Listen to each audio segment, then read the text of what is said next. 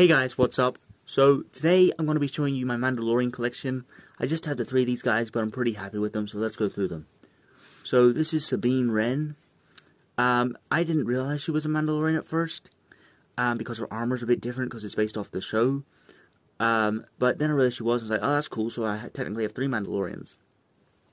Uh, her hairpiece is pretty cool and unique, but I was kind of annoyed I didn't have her helmet. I was like, ah, that'd be cool, then they could all have helmets. But I googled it, and apparently the LEGO version of her with a helmet is pretty rare, so I don't feel really quite as bad anymore. Uh, these aren't the pistols she came with, but they're just similar to them, and I couldn't find hers right at the moment, so I just gave her these ones. Alright, so next is Jango Fett, and this is basically the exact minifigure he came with, apart from this antenna is different, I think it should be grey, but I used blue because I liked how it matched the helmet color. It's from the 501st set, and I just thought, you know what, I think it looks nice, and yeah, a little just subtle bright blue with the rest sort of fainter blues. Uh, these are the pistols he came with, uh, similar to Sabine's, but in grey. Um, I like how his helmet and his uh, jetpack's the same color, so they match. Uh, you can see the Mandalorian armor on his legs and his torso. Um, under the helmet is this face. Now, this isn't his face. I don't know where I got it. But I just thought it was cool because I remember when Mandalorians used to have like holes in their helmets as Lego minifigures. I have a book and it has one of those those uh, Mandalorians in it, and it was uh, Jango Fett, and he had like a black mask because you're meant to turn it this way when you put the helmet on, and then when you take it off, it shows his face.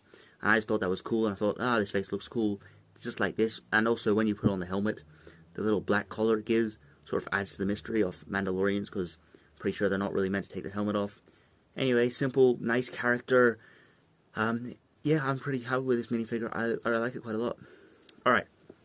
And last up is Boba Fett. This is, again, a really cool minifigure. I love this helmet. As you can see, the paint sort of coming off on the helmet and the metal's coming through. So he's got those two little black dots there. The same here as well, right? So it's the same. And this isn't the gun he came with, but I saw a Lego set where he did have this gun. I thought, oh, I could easily make that so I gave it to him because I thought it's probably accurate.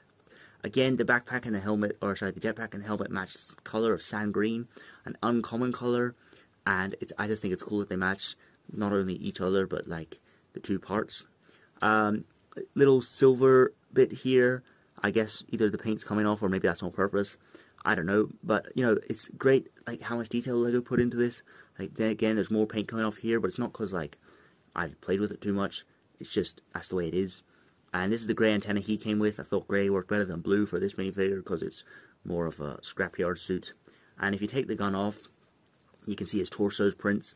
Got the Mandalorian armor and the green paint again is coming off on the torso. I just really love this detail that Lego's put into it, having the like old sort of damaged armor. And you can see the little logo here. I don't really know what that is, but you can see it. And it's a little Jedi sort of braid thing. Uh, so really cool minifigure. And under the helmet, it's just this random head. I didn't. It's not his original head but it's not really meant to take the Mandalorian's head off. So I just left it, and I think it's fine.